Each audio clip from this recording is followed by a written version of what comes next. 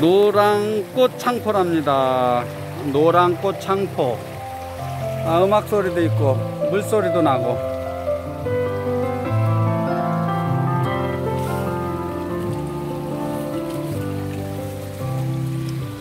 가재가 있으려나? 가재가 있으면 더 좋은데.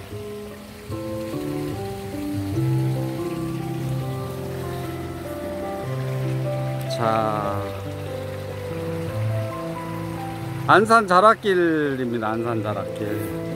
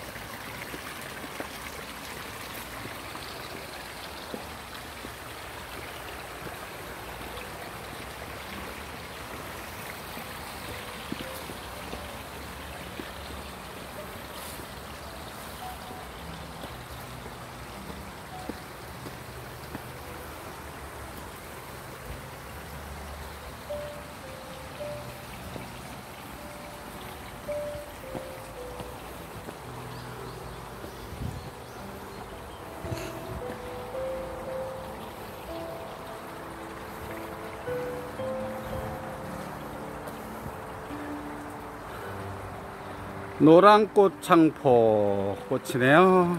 예쁘죠? 자 산에 온 사람들도 많고. 자 요만큼만 볼게요. 자 이쪽으로도 짠